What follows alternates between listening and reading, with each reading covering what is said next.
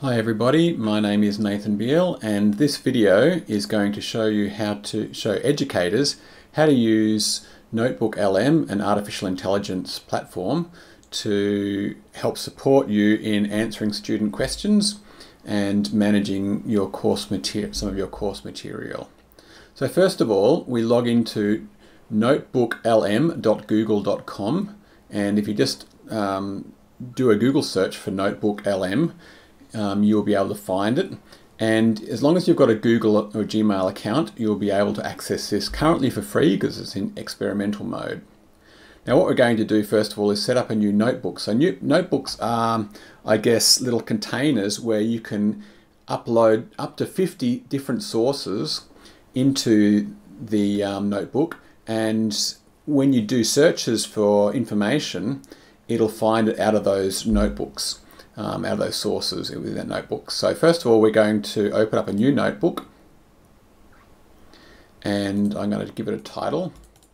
So you can title it according to the course that you're teaching or um, just you can have several courses within here, depends as to how you want to organize it.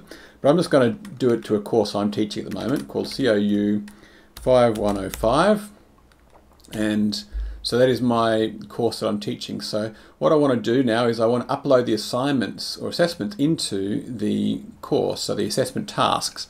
So click on Add Sources, a source here, um, which is, here's an assignment. So I'm going to drag and drop that assignment into the source. So what it's doing now is uploading that information into it. And then it's going to give me a summary. Okay, so here's a summary. And I'm going to do that with another subject as well, another assessment as well, so the portfolio assessment. So I'm going to add that, drag and, whoops, I need to first of all um, click on the, the little button to add sources. And then I'm going to drag and drop this one into it as well. And it's also going to provide, upload that document into the source as well. Okay, so I've got two assessments, but as you can see now, they both say the same thing, assignment. Um, so it's a little bit hard to, to just differentiate. So what I can do is point at it without clicking and it'll show me the name of the source. But I want to be a little bit more effective, time efficient. So I'm going to, here's the source. Um, I'm going to call it assignment two.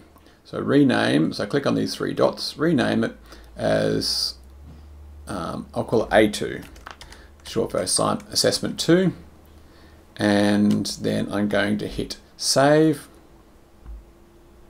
I'm going to do this with the other one as well.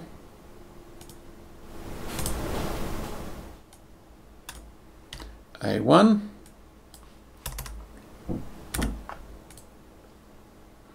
Okay, takes a little while. Now, if I ask a question of the assignment, it's going to basically answer from both the assignments. Now I can I can ask it to please summarize both assessments. Please summarize both assessments. And it's going to read through those assessments and provide a bit of a summary for me. Now there's probably no real use case for this apart from if I'm initially familiarizing myself with the assessments for the first time. But apart from that, I wouldn't probably typically summarize both assessments such as this. Okay, so here's a summary. And what you'll notice is um, it has um, little numbers. Now these numbers go to where it's pulling that information from. Okay, if I just point at it without doing anything, I can simply um, see some information. Or if I click on it, it'll show me where it's taken that information from and give me the context around it as well. So that's quite useful. But what I want to do first of all is show you some potential use cases. So for instance, if I unselect that, then it's going to, only going to answer from this particular assessment. So what I'm going to do is ask the um, chat, what, what are some potential questions students might ask about this assessment. Okay, now it's reading and thinking.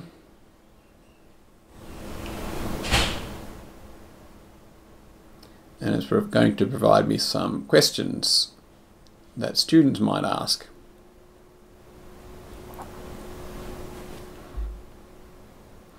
Okay. Um, can I choose a fictional character? This is not.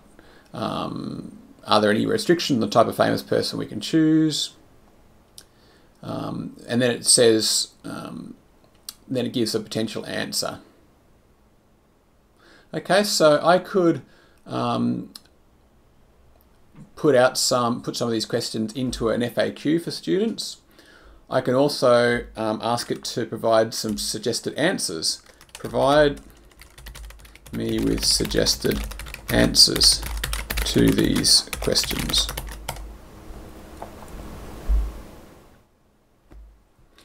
Now, one of the other things you can do is when students ask you questions, so in a forum or something, they ask you a question, you can come back here and ask this the question.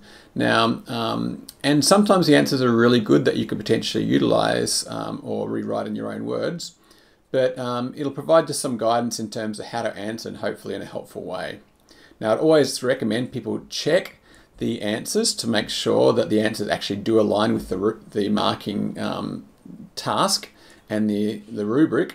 Um, but certainly that's um, it's a really useful um, thing to do is to, to, to ask the answers. So here is, um, you know, I've, asked it to answer some of these questions. Can I choose a fictional or does it have to be real? The instructions specify that students should select a famous person, so it goes back to the instructions. This suggests that the subject should be a real person as fictional characters would generally wouldn't have developmental information in the public domain in the same way. Okay, so that's quite a good, quite a good answer. Um, and again, you can have a look at some of these um, answers, but yeah, check out the check out the question, check out the answers, and then you can use this as a form of FAQ.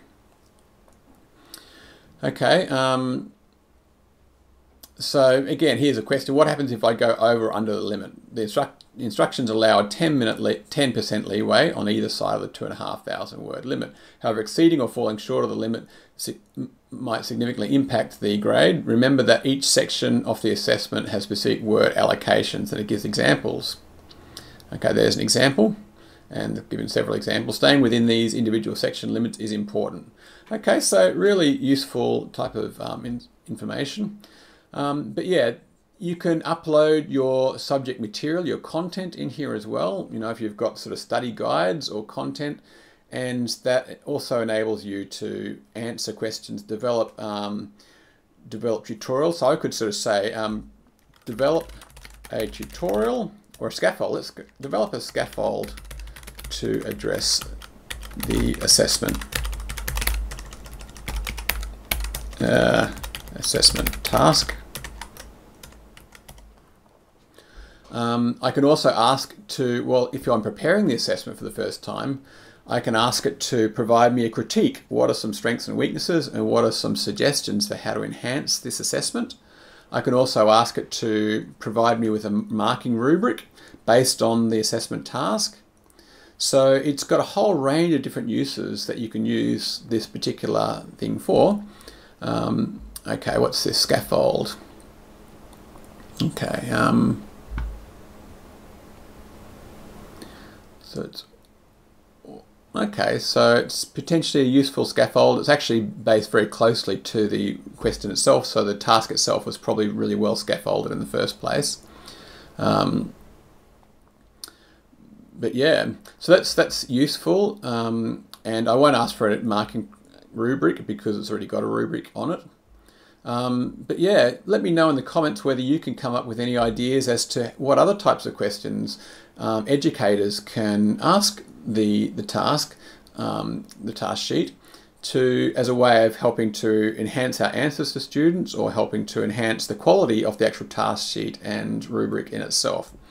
Now, um, again, another option you have, which I have done, is actually create a video like this, but create it for students. So it'll actually save students asking me questions and waiting for you know me to get to their answers when and and therefore they've lost momentum where they can actually upload this these um, assessments tasks and actually ask the the questions themselves so for instance I'll give you an example of a question a student might ask um, so one of this quest this assessment is based on psychobiography where they have to link do based on a developmental theory so it's a developmental subject in counselling so I'm going to ask um, can I draw from more than one developmental theory. So, so they're only supposed to only use one, so let's see what it says.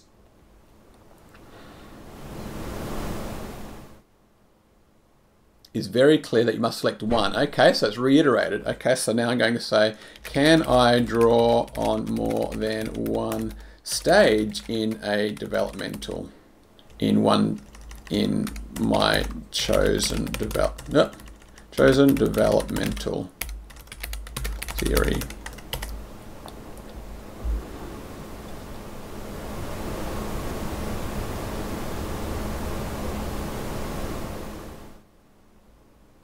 While using, while you are limited to using one of the three um, theories, the sources don't explicitly restrict you to drawing on multiple on drawing on multiple stages within your chosen theory.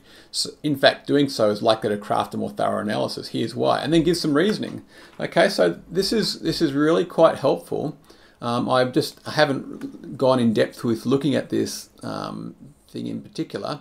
And again, what I'll be saying to students is go back and have a look, you know, at the task. So you can click on here and see why it's drawing from this particular um, air, um, answer, how it's drawing the answer. And also recognize that any answers you get from here have to be subjected to the, the actual assessment task because students are going to be marked not on this answer, which may or may not be accurate, but actually on the task itself. So really highlight to students that don't assume it's gospel, gospel truth, but that you can um, that you need to critically evaluate the result, the answer you're getting as well, based on comparing that with the task itself.